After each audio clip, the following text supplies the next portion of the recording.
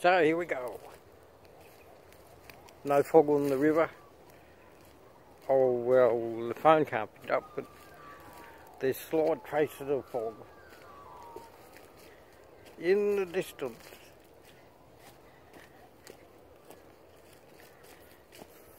Now as we go through our regular walk on track, checking on the pickles.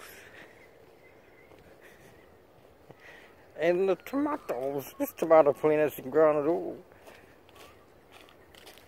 It's in the shade.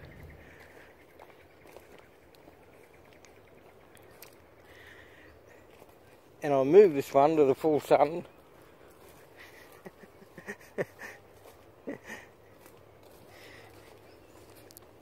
the comparison of the shade tomato and the one in full sun.